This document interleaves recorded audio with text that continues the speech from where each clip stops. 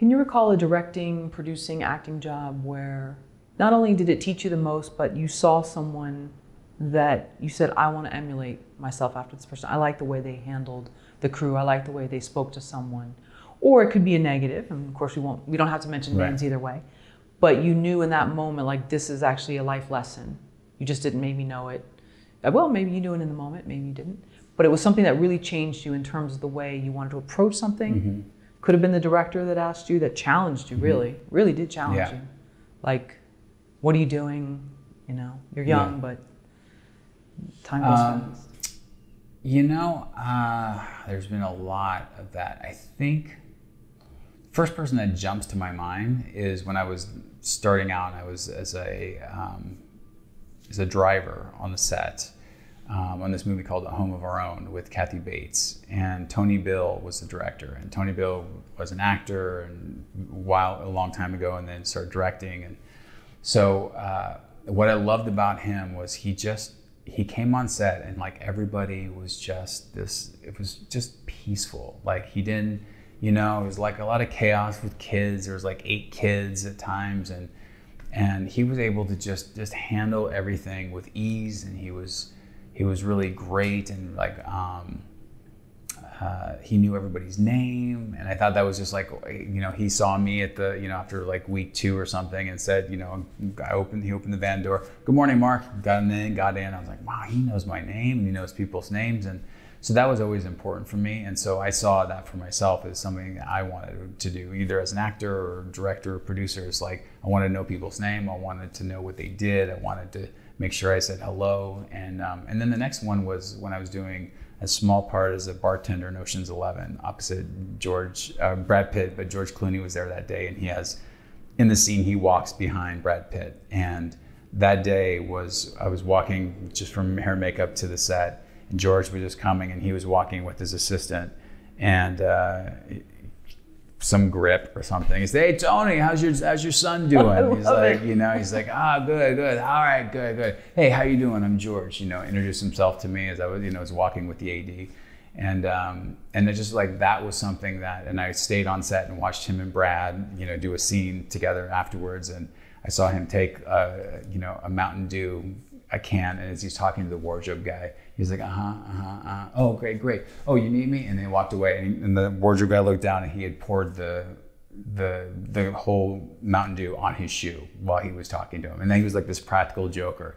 But he knew everybody's name. He was like talking to everybody. I mean, whether it was the Grip Electric, Craft Service, me, some guy that was coming in for one day. And I thought that's the kind of, you know, that's what I want to have. I want to be that kind of a, you know, a leader in on a movie. And so on every all my productions, I'm really trying, whether it's just one day, and I do that even when I'm doing art directing on commercials or you know a prop master. Still, I'll do commercials and stuff, and I'll I know everybody's name, and at the end of the you know job, I'm saying goodbye to everybody, and it just it just helps. It just like it just makes the the, the projection better. It makes the day go by easier. And When I'm asking for you know uh, an extension cord, you know I know who the person to ask. I know the right person. I know his name. You know, it's just that little bit, and we're like, oh, we're a team, not just hey, you can you and um, and that definitely makes a difference when I'm directing. I just did this movie in New Mexico, and uh, the crew had all worked together before, and so I kind of was the you know it was just the DP and I were the only ones from LA. Everybody else was all local, and and for us to come in and just you know even on the prep days to see how they work and how they do stuff, you know, it was different than the way I was used to. But I was able to, you know, adapt and find ways to, you know, get what I needed and give them what they needed from me. And um, and by the, you know, the end of the first week, it was like, oh, this is like just like it is, you know. And I was getting those sort of communications from like the line producer and production manager saying, wow, you really, you know, put us all in our places at times, and yet, you know, we see how hard you're working. Like that was part of my thing. I was like, I'm going to work just as hard, you know. And that was the production designer would had told me out of the first week. He goes, um, he came to set and he said, so never had anybody, never had a director be in bed after me sending me emails and up before me responding to emails. Wow. And um, and that was what that's well, that's my job. I should be the one first one in, last one out. I, that's that's what I should do. And so because of that, he was doing, he was willing to work extra hard. People were willing to, because everybody's on the same, same thing. It wasn't like, oh, I'm just because I'm the director, I'm, you know, some the the boss. It was more of like, at least I'm the guy that has to like say yes, no, yes, no, yes, cut.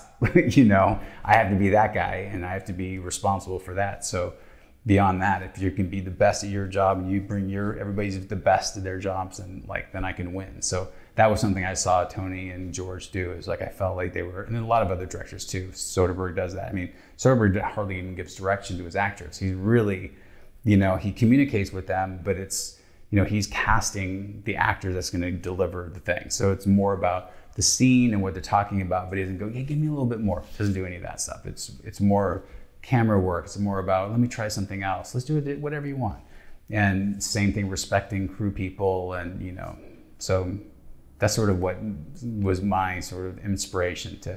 And I feel like that fits my DNA as as a person anyway. I'm there to, you know, that's my dad's like that. My dad knows people and knows everybody in town and wants to help people. So I think as a director, that was something. And even when I was acting, even on Bannen Way, it's like being that guy that's like I co-wrote it. I'm producing it. I'm, you know, I'm in it. Like it's, I have to be the guy that's leading it. And if I have a crummy attitude, everybody else is gonna have a crummy attitude. So I really had to step up. And even when it was not going the way I wanted it to go, I had to be positive. I had to, you know, find solutions rather than where you have problems. You know. Right. Yeah.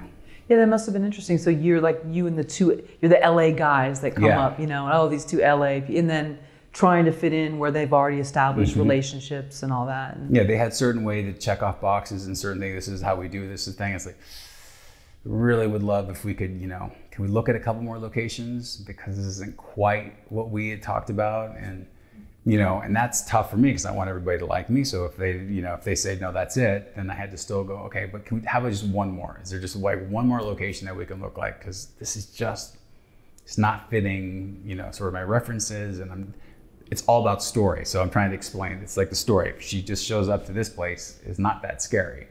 And if it's this place is way too scary, and we're all the audience. Why is she walking in there? So there's like this fine line, like, okay. And then once we found we found a building, and it was like you know, it wasn't exactly what I wanted, but it was closer than these other two. And I thought, okay, I'll give a little bit so that we can, you know, and so a little give and take. And so it was a, a nice little thing where they're like, okay, well, we appreciate you giving us, we know this is not exactly it. We'll see what we can do about this car that you want. And so there was always that sort of negotiation, you know.